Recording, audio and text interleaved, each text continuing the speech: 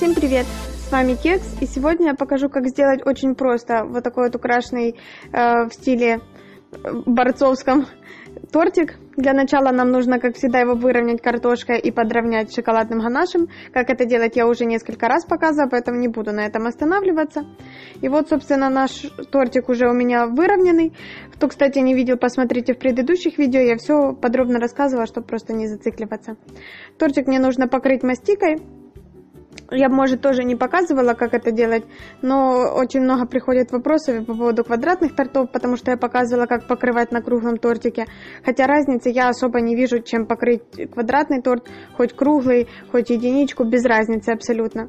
А, сейчас э, у нас лето, очень жарко, на улице плюс 30, в квартире у меня приблизительно так же, поэтому тортик, когда я достаю из холодильника, он очень быстро начинает э, покрываться таким легким конденсатом.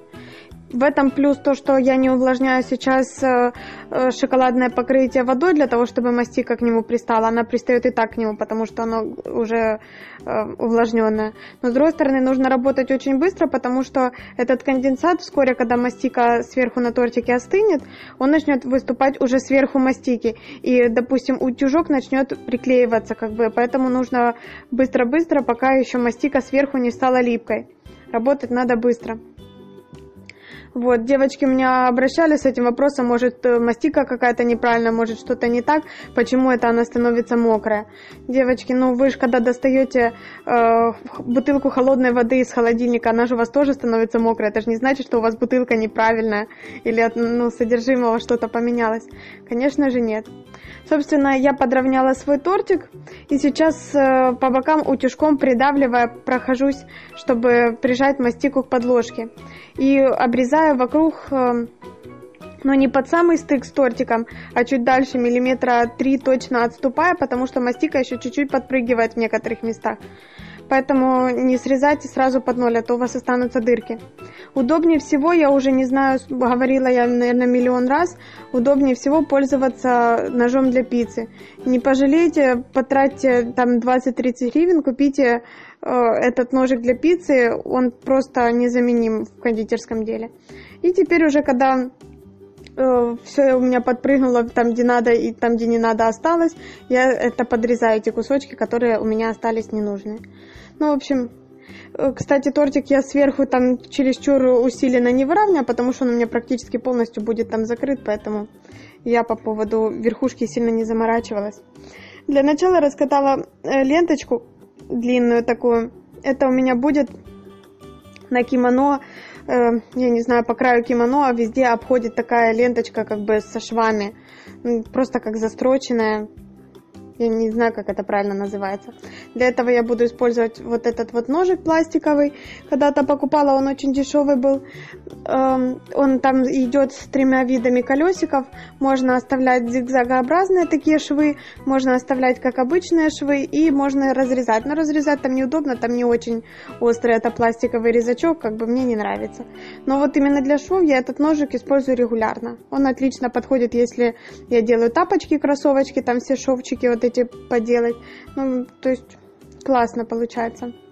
Кто-то из девочек говорил, что э, пробовали в тканях, покупали специальные такое колесико, тоже оно там идет, э, дырочки делает постоянно, это типа тоже намечает там что-то. И если у вас есть такое, то можете его хорошенько помыть и использовать его. Вот. Я прошла, сделала там 4 полосочки на нем, теперь могу отложить и сейчас буду цеплять э, это уже на свой тортик. Для начала я ничего увлажнять не буду, э, просто намерю, а там, где у меня не выступит конденсат, чтобы самому приклеиться к тортику, я там, где нужно, себе подклею. Мастика еще свежая, вы видите, очень мягкая, поэтому э, для того, чтобы придать ей более стойкости, мне нужно будет ее подпереть. Вы видите, она вот сразу ложится, бортиком не хочет лежать. Если бы вы взяли мастику, которая, допустим, уже э, сутки полежала в холодильнике, размяли ее, она бы уже как бы держала форму получше. Но я воспользовалась мастикой, которая у меня осталась после обтяжки, поэтому я ее сейчас подопру, и уже когда поставлю в холодильник, она у меня после этого начнет стоять. Я взяла обычные салфетки, и теперь этой салфеточкой я подопру там, где мне нужно, чтобы мастика моя не падала. Но, по-моему, очень сильно так становится стоять мой воротничок. Надо будет, наверное, чуть-чуть поменять. Ладно, пускай так чуть-чуть постоит. Теперь я вижу, что у меня внизу еще не сильно пристает, э, мало влаги выделяет пока весь тортик, поэтому, наверное, я приклею на водичку э, свою, свою полосочку. Не знаю, как это правильно сказать. Поэтому сейчас я ее поправлю. Вы видите, я хочу, чтобы она у меня вот так вот, ну, полу, полулежачем состоянии была. Поэтому для меня огромного второго рулончика многовато вышло салфетки, поэтому я отрываю кусочек и просто маленькими кусочками подкладываю там, где мне нужно. Этот способ очень хорош везде, где у вас есть там бантики всякие, вас э, всегда выручит вариант салфеткой. Ее потом очень удобно и легко достать, она не пристает к мастике, если она у вас не была мокрая, и работать с ней удобно. И они всегда есть в любом доме. Вот сейчас водичкой чуть-чуть увлажню, где у меня не пристало, и приклею к низу тортика свою полосочку. Они там бывают разные, с бирочками, без. Мне заказчица сказала сделать без бирочки. Кстати, вот я в процессе, пока подтягивала мастику, чуть-чуть у меня растянулись мои швы. И я решила поверху немножко еще пройтись. Там, где сам воротник уже трогать ничего не буду, там у меня все хорошо. Только здесь чуть-чуть подправила. Но этого можно и не делать. Дальше я раскатала вот такую вот одну белую полосочку, и у меня сверху на воротнике будет медаль желто-синим флагом. Поэтому я еще раскатала две тоненькие полосочки, синюю и желтую. Э, по поводу их э, ровности не заморачивалась, обрезала, вы видели, только ножом по одной стороне, чтобы одна сторона стыка между ленточками была уже ровная. А вторую сторону я уже обрежу, когда все у меня приклеится к моей белой основе. И просто теперь друг к дружке их приклеиваю. Здесь можно их чуть-чуть потом будет и раскатать, если вам нужно тоньше. Оно теперь уже хорошо держится белой мастики. Вы видите, я прохожусь просто, чтобы оно сейчас пристало у меня. Но можно раскатать и сделать длиннее, шире, неважно. Теперь оно у вас хорошо держится. Я сейчас обрежу, сделаю, чтобы оно у меня все ровненькое получалось. Уже так, как я это вижу уже на месте, потому что если бы мы там обрезали ровненько и начали клеить на белое, все равно где-то оно деформируется и все равно нужно будет потом срезать. Поэтому лучше, удобнее делать так. С остатков желтого цвета я хочу сделать медальку. Медальку я делала здесь не очень яркую, но я смотрю, что у меня по размерам надо чуть-чуть поменьше. Сделаю вот такую поменьше медальку. Чтобы она у меня без стыков была, сложила вот так несколько раз под низ. И теперь раскатаю по новой меньшего размера, но думаю, будет смотреться лучше. И вырубкой просто делаю кружочек, можно чем угодно вырезать. Это у меня будет моя медалька.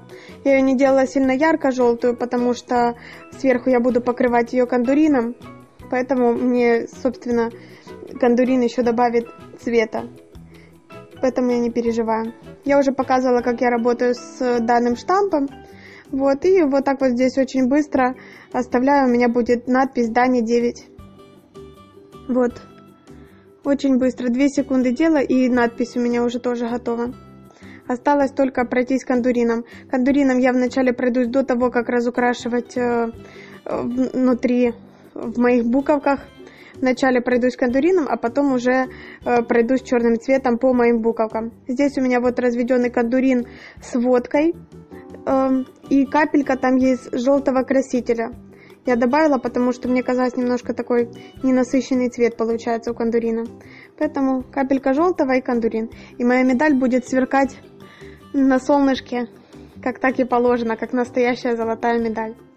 И быстренько прокрашиваю это все. И мне нужно оставить на свежем, на открытом пространстве, вот, чтобы подсохла моя медалька. И я могла э, на мокром, не советую вам сейчас начинать э, прописывать буковки, потому что могут буковки поплыть. А потом, когда уже подсохнет, отлично вы распишите внутри буковки без проблем. Можно, конечно, и не красить, можно просто сделать желтую медальку, тоже будет ничего, если у вас, допустим, нет кондурина. Если честно, то у кого кондурин дорогой в городе, лучше купить это специальный американский э, золотой краситель, который уже как гелевый идет. Он намного лучше красит, чем кондурин. Так что, если вдруг надумаете, то лучше купите то, что лучше. Все, теперь я, в общем, одеваю свою ленточку. Ленточку хочу, чтобы она у меня так чуть-чуть отходила от воротничка, чтобы она не приклеилась у меня намертво там. Поэтому тоже подложу салфетку, чтобы в холодильнике у меня все как бы остыло отдельно. Медальку я положу попозже, потому что медалька у меня пока месть высыхает. А пока месть мне нужно будет заняться воротником. И еще мне э, мама данного ребенка дала задание, там такая надпись будет. Э, ну, я, в общем, сейчас все покажу. В общем, для пояса, у ребеночка оранжевый пояс, я так понимаю, я сделала тоже такой шнурочек, по которому прошлась шовчиком. Сделала две запчасти, это у нас будет завязка, и одну маленькую запчасть, это для узелочка. И теперь просто намеряю, раскатывала вначале на глаз по длине, а теперь намеряю и отрежу там уже, где мне нужно по длине. Она уже здесь приклеится, где у нас завязка будет, я чуть-чуть э, сжимаю, потому что так будет красивше смотреться, там, где оно согнуто. И на самих уже коротеньких завязочках чуть-чуть там прижимаю, где оно будет связываться, чтобы реалистичнее смотрелось. На месте, где у меня стык, увлажнила чуть-чуть водичка и приклеила к мастике, чтобы оно у меня было такое воздушное, как будто завязалось. И точно так же поступаю со второй. Но вторая должна быть напротив э, первой. То есть они не вместе должны как-то торчать, а чтобы это был похож на узелок, она должна быть напротив.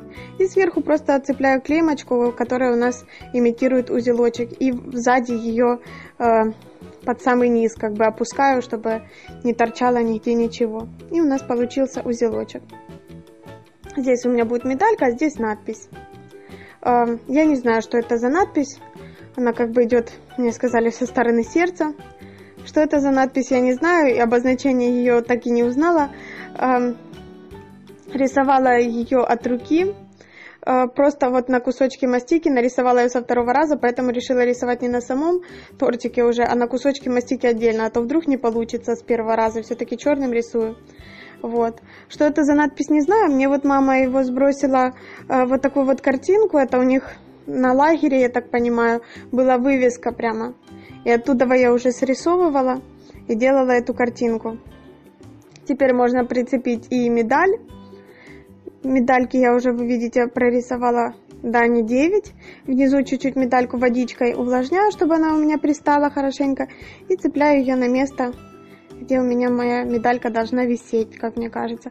В принципе, на самом деле, уже так можно было оставить. Хотела придавить вот тут по медальке, чтобы как на настоящие медали были, такие как полоски-бороздочки. Но ну, посмотрела, будет некрасиво. Салфетки, вы видите, хорошо убирается. Уже все никуда не падает, никуда ничего не движется. Уже привыкла к своей форме. Я же говорю, можно было уже тортик и так оставить. Вот, но мне еще и вес позволял тортика поиграться. И мне казалось, что нужно сделать еще рукава для нашего кимоно. Э, для рукавов я просто раскатала мастику, разделила ее на две части и абсолютно визуально делаю себе и по длине, и по ширине э, рукавчики. Единственное, делаю просто, чтобы они были по длине, по ширине как бы похожи, чтобы это не было один такой, другой такой. И вот у меня два простых рукавчика. Цеплять буду так же само, как я показывала на торте вышиванки. Вот. Здесь подровняю пока месть, где я растягивала, оно потянулось а чуть-чуть. Поэтому подровняю там, где мне не нравится. Из остатков я сейчас сделаю еще такую вот полосочку на низ. Я раскатала опять-таки тоненький, э, тоненькую полосочку, на которой я тоже э, для швов колесиком пройдусь и сделаю несколько надсечек. Я не знаю тоже, как это правильно показать, как это сказать, где внизу. Вот, посмотрите. Видите, внизу рукава идут тоже со швами вот такие вот штучки. Ну, просто швы как бы такие. Поэтому здесь тоже буду на низ рукавов цеплять эти швы. Теперь прорезаю, делаю чуть-чуть больше ширину, чем сам рукавчик, чтобы оно у меня вокруг как бы завернулось и не торчало просто сбоку увлажняю внизу, но совсем чуть-чуть, чтобы оно не плыло нигде, ничего, просто чуть-чуть увлажняю водичкой. Обычной водой, никакой не мед, не водка, ничего, обычная вода. И цепляю на низ вот эти вот швы мои. Подрезаю, где у меня там торчит нужно. И для большей объемности, чтобы создать какой-то э, 2D эффект, то я заворачиваю вот так вот под низ. Можно было сделать как бы вообще двойное, но это чересчур много мастики. Если свернуть рукав, я имею в виду и с одной, и с другой стороны, как бы, то это чересчур много мастики, и зачем это делать, как бы, мы же хотим все-таки кушать торт, а не одну мастику. Мастика это так для украшения, для красивой коробочки, так сказать. Вот, поэтому Заворачиваю я здесь одинарным свой рукавчик. Если у вас э, вес тортика позволяет, у меня здесь должен был быть вес 3 килограмма. У меня там внутри, я уже говорила, у меня красный бархат. Внутри он у меня с э, клубничным мармеладом и клубникой и сливочным кремом. Поэтому здесь у меня вот 3 килограмма ровно получится вместе с украшениями совсем. А если у вас вес позволяет, то можно сделать с рукавами прямо из э, из тортика как бы сделать такие рукавчики, и вы покрываете уже вместе с рукавами, и потом на рукава приклеиваете вот эту полосочку и все. Не знаю, как более понятнее объяснить, но просто, я же говорю, у меня здесь, чтобы тортик смотрелся визуально побольше, я решила делать его просто вот таким вот ровненьким. Теперь мне нужно приклеить мои рукава, и, собственно, на этом мой тортик уже законченный. Здесь останется только украсить мою подложку и все, и сверху покрыть пленкой, чтобы тортик не, не, не попала на него никакая ни пылючка, ничего, когда я буду выносить, или поставить его в коробку. Второй рукавчик я так пытаюсь чуть-чуть приподнять сюда наперед, чтобы он у меня торчал посильнее. Вот. Ну, а так, собственно, уже и все. Можно добавить, там есть у кого-то специальные там отличительные знаки, там наклейки на боковые эти, ну, на, на рукавчике. Можно вот эту надпись было распечатать на вафельной бумаге и приклеить просто к тортику. То есть все по вашему желанию. Ну вот у меня такой тортик получился. Я думаю, что очень это просто, и я очень просто рассказала. А с вами был Кек. Ставьте пальчики вверх и до новых встреч. Пока-пока.